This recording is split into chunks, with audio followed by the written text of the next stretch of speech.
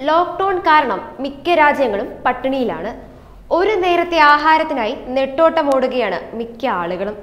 ഇന്നലെ തന്നെ ദില്ലിയിലെ അവസ്ഥ നമ്മൾ കണ്ടതാണ്. ഒരു നേരത്തെ ആഹാരത്തിനായി പൊരി വെയിലിൽ കാത്തു നിൽക്കുന്ന അവസ്ഥ. അതുപോലൊരു മറ്റൊരവസ്ഥയാണ് ലോക്ക്ഡൌൺ കാരണം ആഹാരമില്ലാതെ രാജവെമ്പാലയെ പാകം ചെയ്ത് വിശപ്പ് മാറ്റിയ ഒരു സംഘം ആളുകളെക്കുറിച്ച്.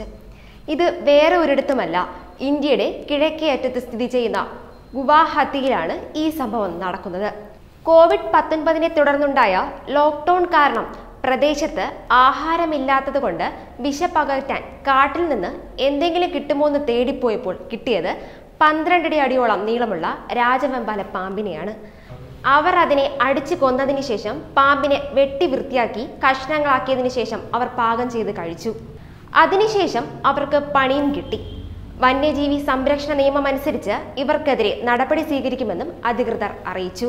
കൂടാതെ വന്യജീവി സംരക്ഷണ നിയമം അനുസരിച്ച് സംരക്ഷിത വിഭാഗത്തിൽ പെടുന്ന ഇനമാണ് രാജവെമ്പാല.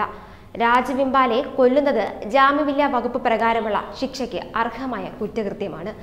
എന്നാൽ ഒരു ഭാഗത്ത് ചിന്തിക്കുമ്പോൾ തെറ്റാണ്. മറുഭാഗത്ത് നോക്കുമ്പോൾ ഒരു നേരത്തെ ആഹാരത്തിന് വേണ്ടിയാണ് ഇവർ ഇത് ചെയ്തതെന്ന് കൂടി ചിന്തിക്കേണ്ടതുണ്ട്.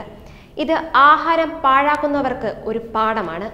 ഒരു നേരത്തെ ആഹാരത്തിന് വേണ്ടി നെട്ടോട്ടമിടുന്ന നിരവധി ആളുകൾ നമ്മുടെ ചുറ്റിലുമുണ്ട്. നമ്മൾ അവരെയൊക്കെ അറിയുന്നില്ല എന്നതാണ് സത്യം.